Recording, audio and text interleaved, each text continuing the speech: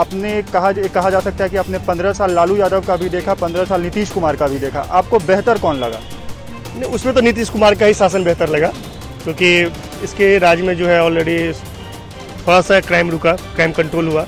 बिजली, सड़क, पानी का स्थिति सुधरा, और लालू जी के रीजन में ये सब नहीं था। जितना अभी सुरक्षित महसूस कर रहा है, उतना उस टाइम सुरक्षित महसूस नहीं करता था। हर बार आगामी 20 साल नीतीश कुमार ही रहे। आप दूसरे को भी पार्टी में मौका दीजिए। आप अपनी ही पार्टी से खड़ा लेकिन दूसरा चेहरा दीजिए, बढ़िया चेहरा दीजिए। क्योंकि कोई भी नेता जब एक ही पद पर रह जाता है तो तानाशाही आ जाता है, जो सामने झलकता है। तानाशाही वाला चेहरा झलकता है। इसीलिए मुख्यमंत्री का चेहरा बदलना चाहिए। लालू जी का पंद्रह साल बहुत अच्छा रहा, सामाजिक न्याय का लड़ाई लड़ते। ये जो पंद्रह साल है, पंद्रह साल बनाम पंद्रह साल, इस सरकार में सात निश्चय से लेकर केवल लूटपाट हुआ है। अभी ना तो तेजस्वी यादव जी सही है न नीतीश जी सही है। कोई नया चेहरा होना चाहिए। देखिए जहाँ तक विकास की बात है नीतीश जी को छोड़ करके बिहार में अभी कोई भी विकल्प नहीं है।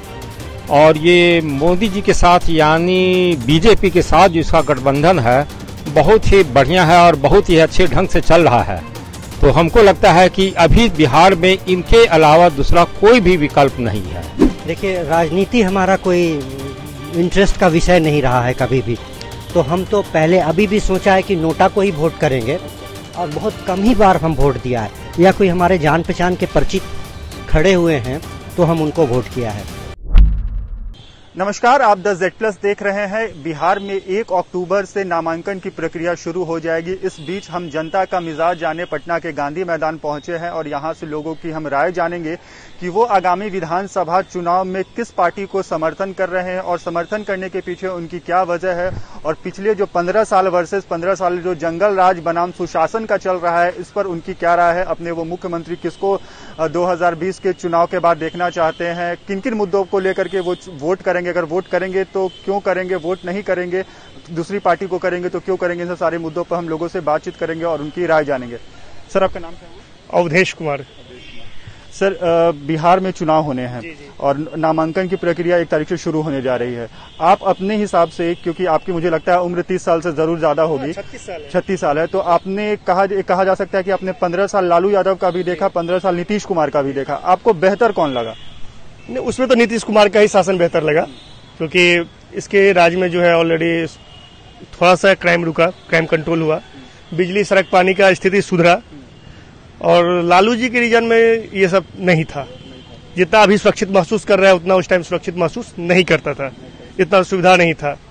सर आपको नहीं लगता कि आप भी पढ़े लिखे हैं और शहर से बाहर निकलते होंगे? तो बिहार की रोज जो राजधानी पटना है और बाकी जो राज्य की जो राजधानी है अब जो बाहर निकलते हैं तो उससे जब इसको कोरिलेट करते हैं तो आपको बहुत एक बड़ा गैप आपको खाई नहीं दिखती है। देखिए जब हम लोग बाहर जाते हैं तो बहुत सारे स्टेट में शर्म से सर झुका लेना पड़ता है। क्योंकि हम कितने भी हाई पोस्ट पे क्यों न रहे? लेकिन बिहारी कह के संबोधित करता है। बिहारी कह के संबोधित करने का मतलब होता है, जो वो एकदम से निम्न वर्ग के दिखता है, जो कि ये लोग नीचे वाला काम करता है, इसलिए बिहारी से संबोधित करता है। हर स्टेट जो है, सो अपना अपना स्टूडेंट को, अपने अपने नौकरी में, गवर्नमेंट के जॉब में सबको होल्ड कर दिया गया, जो कि ये सिर्फ़ झारखंड का ही आदमी भर सकता है, लेकिन ये चीज़ बिहार में लागू अभी तक नहीं किया गया। इस मुद्दा पे सरकार बहुत विफल है।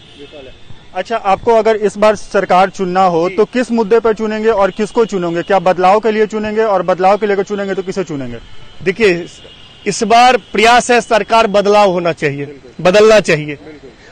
उसके बाद मुख्यमंत्री का चेहरा भी बदलना चाहिए।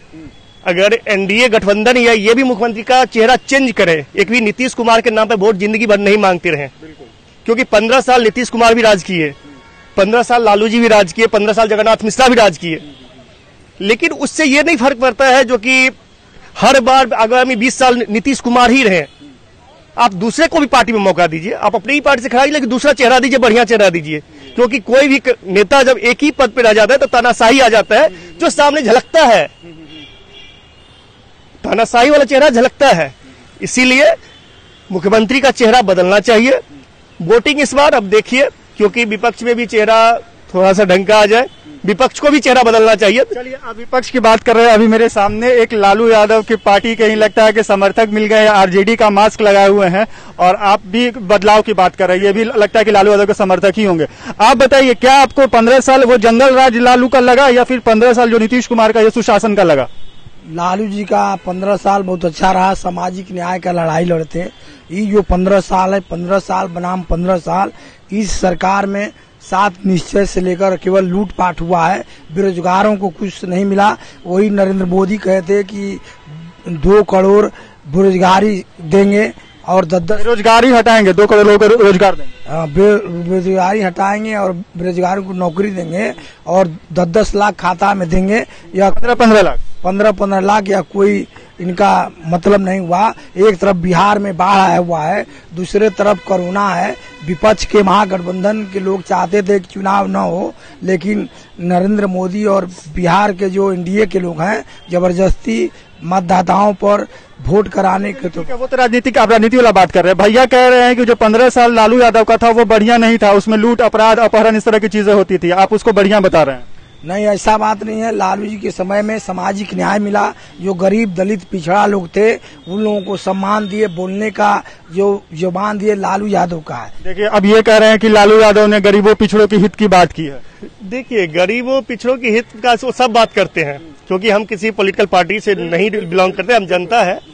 तो हम इनको अच्छा बुरा तो कहेंगे नहीं क्योंकि अभी वैसे भी राजनीति का मुद्दा है हम राजनीति के हिसाब से बात नहीं कर रहे हैं।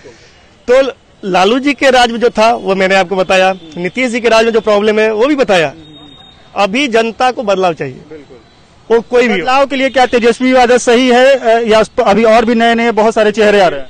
अभी ना तो तेजस्वी यादव जी सही है ना नीतीश जी सही है। कोई नया चेहरा होना चाहिए। तो नया चेहरा में अगर बात करें तो अभी एक उभरता हुआ नाम आ रहा है पुष्पम प्रिया चौधरी का कन्हैया कुमार का चिराग पासवान का ये युवा चेहरा अभी बिहार में दिखे देखिए अब युवा चेहरा में अभी जैसे चिराग पासवान जी हुए उनका भी चेहरा ठीक है। पुष्पम प्रिया चौधरी भी अभी क्षेत्र में आई है। उनको थोड़ा सा मेहनत तो अभी करना पड़ेगा। ठीक है कैंडिडेट सही है कोई दिक्कत नहीं है लेकिन राजनीति समझना पड़ेगा जो बिहार की राजनीति क्या है। आप बताइए आपको क्या मतलब तेजस्वी यादव सही लगता है कि उनके जगह पे कोई दूसरा सीएम भी बन, युवा चेहरा? तो मानकर चल रहे हैं कि बिहार के जो सीएम होंगे नौजवान युवा तेजस्वी यादव होंगे। पंद्रह साल पंद्रह साल बनाम की लड़ाई है आर पार की लड़ाई है और जो तेजस्वी यादव युवा है नौजवान है तावे की रोटी को बदलने काम है। तावे का रोटी अगर नहीं बदलिएगा तो तावा का रोटी जल गए जल, जल जाएगा ना आप खाएँगे ना हम खाएँगे। और बेरोजगारों को तेजस्वी ने कहा कि हम पहला प्राथमिकता रहेगा कि बेरोजगारों को हम नौकरी देने का काम करेंगे लेकिन वही परिवार हो गया परिवार से ही आते रहेंगे ये भी नहीं होना चाहिए। परिवार बदलिए थोड़ा सा वो बढ़िया है। तो कुछ और भी लोग हमसे जुड़े हैं, इनसे भी हम जानेंगे कि ये चुनाव में चुनाव को, बिहार चुनाव को लेकर के क्या सोचते हैं और किस पार्टी को सपोर्ट करते हैं, किस नेता को बेहतर मानते हैं, इन सब सारे मुद्दों पर इनसे बातचीत करेंगे। सर, बिहार में चुनाव होने हैं, जिसकी नामांकन प्रक्रिया एक तारीख से शुरू होने जा रही है, एक दिनों के बाद। अगर इस चुनाव में देखा जाए तो पंद्रह साल बनाम पंद्रह साल के मुद्दे पर चुनाव हो रहा है। महागठबंधन वर्सेज जो मेन मुकाबला है वो देखने को एनडीए को मिल रहा है। आपको क्या लगता है कौन सी पार्टी बेहतर है? किसने पंद्रह साल में विकास किया और किसने पंद्रह साल में बिहार का, जो कहा जाए कि बिहार को पीछे ले गई है? देखिए, जहाँ तक विकास की बात है, नीतीश जी को छोड़ करके बिहार में अभी कोई भी विकल्प नहीं है। और ये मोदी जी के साथ, यानी बीजेपी के साथ जो इसका गठबंधन है बहुत ही बढ़िया है और बहुत ही अच्छे ढंग से चल रहा है। तो हमको लगता है कि अभी बिहार में इनके अलावा दूसरा कोई भी विकल्प नहीं है। अच्छा, ठीक है। नीतीश कुमार को हम बेहतर मानते हैं ठीक है? आप ये बताएँ अंकल कि आप कहाँ के रहने वाले हैं? हम तो बेसिकली पटना के ही रहने वाले हैं। ओरिजिनल हम लोग वेस्ट पाकिस्तान से बिलोंग करते थे। 1947 में जो देश का डिवीज़न हुआ तो हमारे फादर मदर यहाँ आ गए। तो हमारा जन्म यहाँ 1951 में हुआ। तो यहीं पर स्कूलिंग किया यहीं पर कॉलेज में पढ़े यहीं पर सर्विस किया और 2016 में रिटायर कर गए। तो इतने दिन से जो भी हम देख रहे हैं तभी नीतीश कुमार जी से बढ़िया कोई भी विकल्प नहीं है। अच्छा अंकल आप ये बताइए कि आप खुद मुझे लगता है कि पचास से ज़्यादा की आपकी उम्र हो गई होगी। हमारी उनहत्तर बरस होने जा रही है।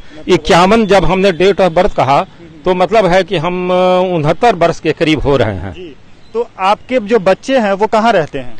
हमारे बच्चे एक दिल्ली साइड में रहते हैं। एक दिल्ली एक वहाँ नोएडा में काम करता है और एक दो एक यूपीएससी की में लड़की एग्ज़ाम दे रही है और एक लड़की गुड़गांव में है। जी ठीक है।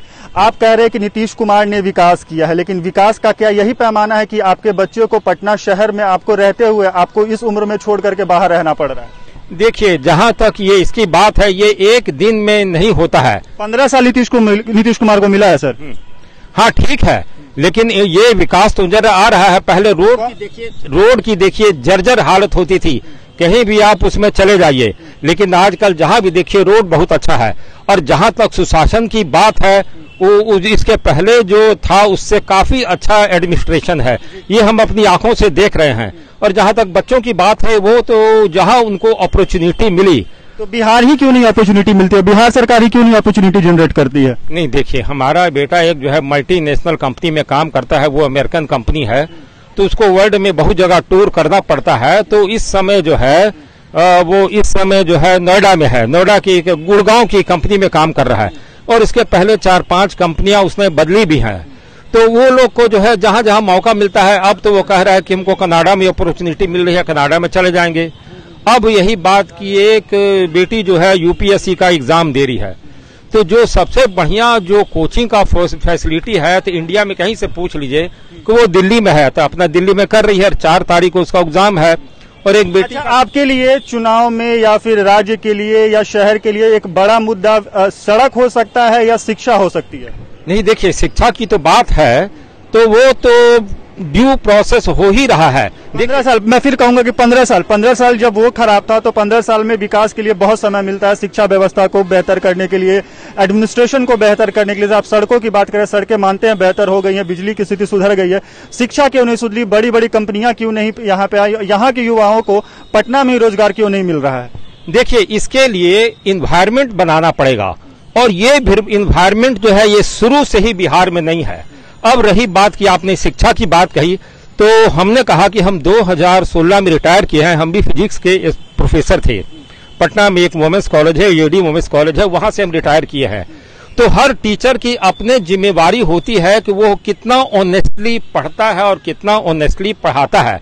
ये बाकी तो बब हम एम्प्लॉयड हो गए अब हम और इसी के अलावा और भी हमारे जितने लोग हैं वो उसमें भी इतना ईमानदारी से काम करेंगे सब के पीछे तो कोई जा नहीं ना सकता है। देखिए अभी देखिए अब नया, नया मुद्दा जो है जो चाइना से लड़ाई होने वाली है तो हम लोग मैक्सिमम डिफेंस का इक्विपमेंट जो है फॉरेन से इंपोर्ट कर रहे हैं। क्योंकि उस समय जो आपके ये जो साइंटिस्ट थे डीआरडीओ ने उतना काम नहीं किया। इंडिया का दो ही सेक्टर जो है बहुत बढ़िया से काम किया है, एक भाभा एटॉमिक सर सेंटर और एक इसरो। तो जब तक देश के प्रति डेडिकेशन नहीं होगा, तब तक दुनिया की कोई भी सरकार आ जाए, वो नहीं होगा। अभी जो है अब अब देशभक्ति की भावना उत्पन्न हो गई है। अब देखिए कि वो बनाएँगे वो बनाएँगे वो बनाएँगे वो चल रहा है। चलिए ठीक है। हम इस बात को यहीं पे खत्म करेंगे। आपके लिए क्या कौन बेहतर इस बार मुख्यमंत्री का चेहरा कौन होना चाहिए? नीतीश जी को छोड़ के किसी का नहीं होना चाहिए। चलिए ठीक है। बदलाव के लिए क्या नीतीश कुमार की, की जगह पे कोई युवा चेहरा नहीं आना चाहिए? नहीं आना अभी हमको कोई नज़र नहीं आ रहा है। अगर नज़र आता तो उसका नाम ज़रूर लेते। चलिए ठीक है। सर आपका नाम क्या हुआ? मेरा नाम हुआ राम प्रवेश चंद्रा। सर आप क्या करते हैं? हम तो अभी जॉब में हैं बिहार बिहार सर चलिए बिहार में मालूम हुआ कि चुनाव होने हैं जिसकी नामांकन प्रक्रिया भी अब शुरू हो गई है मतलब एक दिनों के बाद से शुरू हो जाएगी। आपको क्या लगता है कि इस बार के चुनाव में किस मुद्दे पे जनता वोट करेगी? जनता तो इस अभी तो वो विकास ही चाहती है मेन मुद्दा तो विकास का ही है कि वि- आपको विकास नज़र आ रहा है? पहले की अपेक्षा विकास तो हुआ है हर क्षेत्र में विकास हुआ है। जो पहले पंद्रह साल पहले की जो बात है और पंद्रह साल में तो बहुत परिवर्तन तो देख क्या पंद्रह साल में विकास का पैमाना यही है इतना ही विकास होना चाहिए और इससे आप संतुष्ट हैं इस विकास से? नहीं नहीं विकास से संतुष्ट तो नहीं है विकास तो और होना चाहिए। विकास तो हर क्षेत्र में होना चाहिए। मूलभूत आवश्यकताएँ जो है मनुष्य का वो पूरे पूरी होनी चाहिए।